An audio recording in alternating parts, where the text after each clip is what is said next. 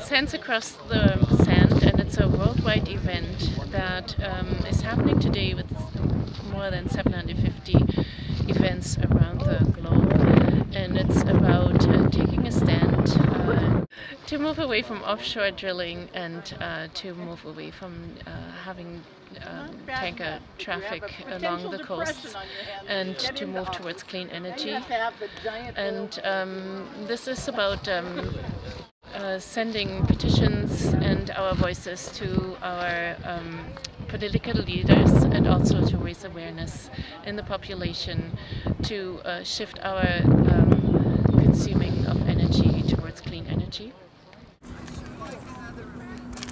I hope that there's a good turnout in all the places where this is going on so that there is a strong message that goes out.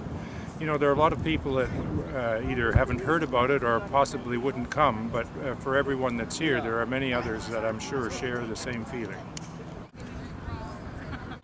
The petroleum industry has gotten so huge and they have so much money and they have so much political power that it's very hard for any government to control them. Do you think that events like this help send a message? That... Yes, I do. Okay. I do.